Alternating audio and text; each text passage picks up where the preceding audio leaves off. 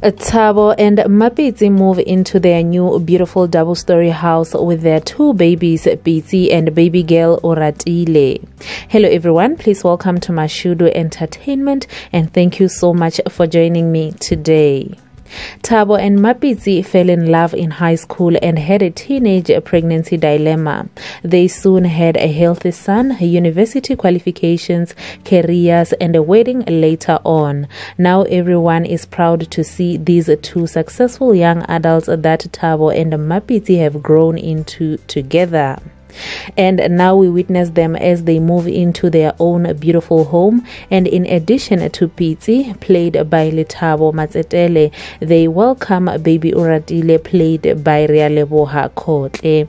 A new bundle of joy, making them a young family of four.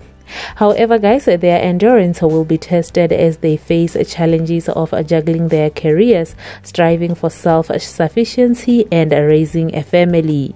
And as you guys know, Meikie Maputla has been the head of the Maputla family, taking care of the household, being a good wife, and nurturing her two sons, Leeto and Thabo, into two grown and successful men. And uh, lately, we see her slowly struggle with that role, and she passes it over to Mapitsi as the new generation matriarch in a new uh, Maputla house.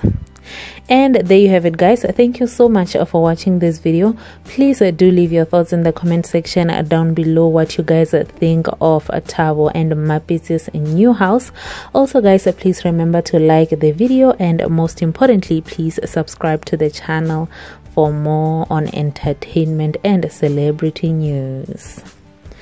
Bye, guys.